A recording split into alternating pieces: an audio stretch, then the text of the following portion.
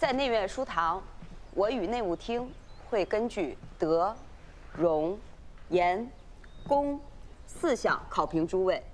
若考评不佳，不仅要受罚，还会连累夫君。届时，夫君被判个治家不严，想来能在府中的日子刘少主身子已经这么差了，我不能给他添麻烦了。所以，还请诸位谨守本分，勤勉治学。大家把书翻开。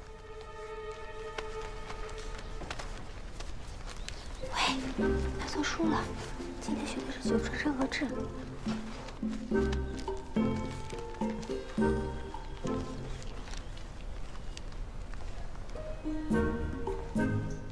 天下共分九川，七十年前各川混战，新川的元丰上主横空出世，称霸天下。自此定下九川百年合盟，新川占地、人口皆为九川之最，地大物博，繁荣昌盛，也有着悠久的文化传承。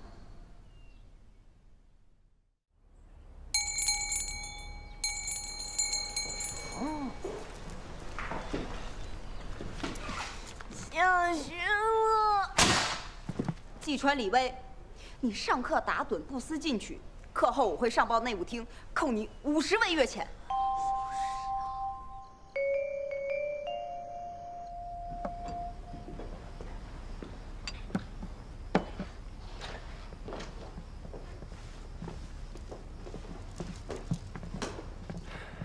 今日内院书堂表现如何？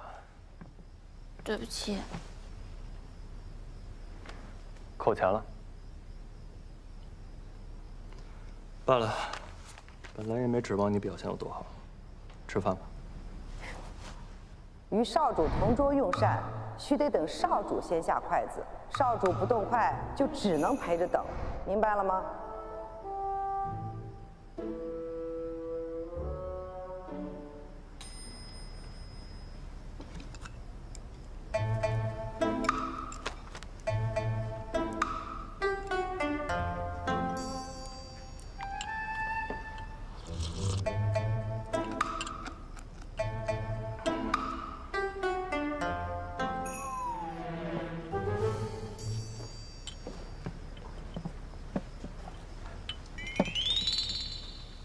近日少主身体不适，告诉刘宝全，这些犹大的荤腥最近就不要上了。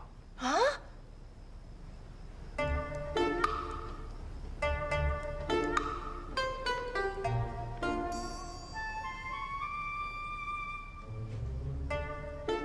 桌上菜品需等少主夹过，尔等才能下筷子。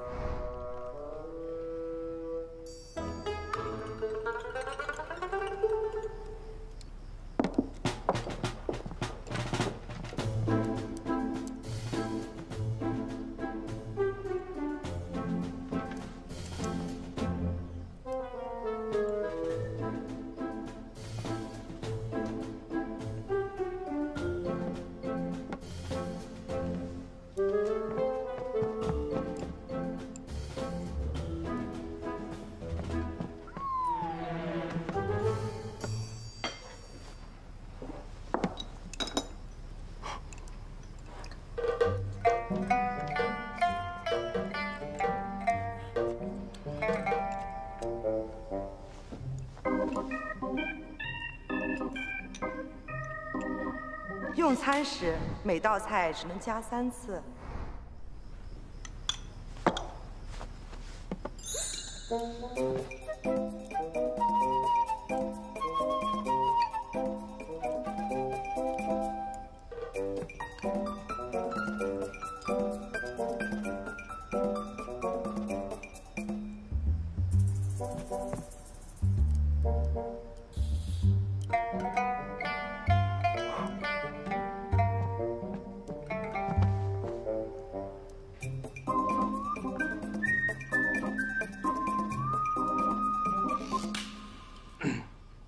我吃饱了，慢用。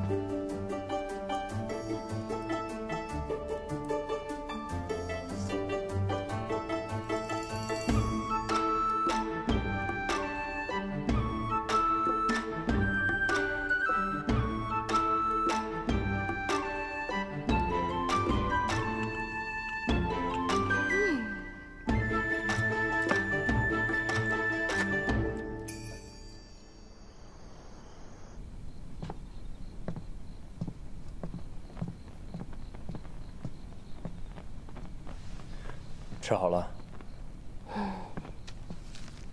这药凉了就不好喝了。这药热的也不好喝吧？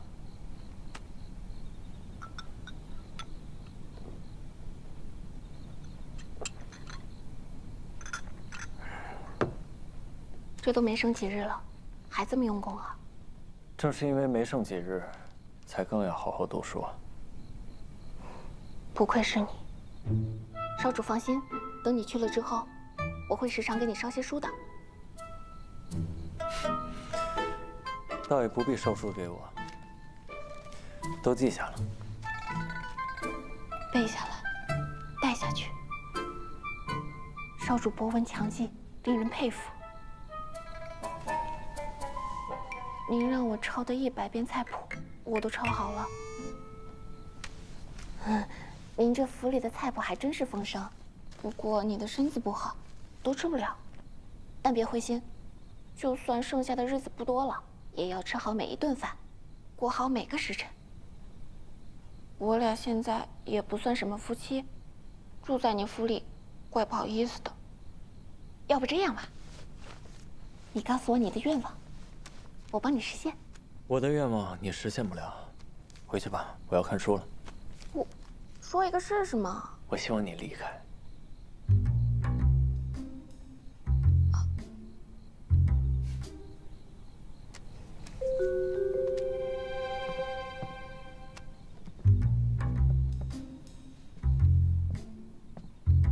我去问别人就好了。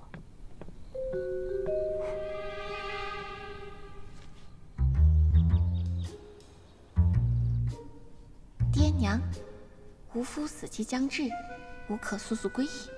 家中置藕粉，切记加槐花少许，待吾归同食。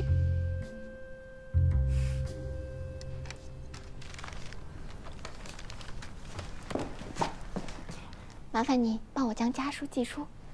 是。哎，苏夫人，眼下少主身体抱恙，不能来您房中，可是你也得趁这段时间赶紧想办法跟少主建立感情啊，不然到时候他真要把你忘了，可怎么办啊？可别这么说啊！他要是到那边还对我念念不忘的话，嗯，伤都瘆得慌。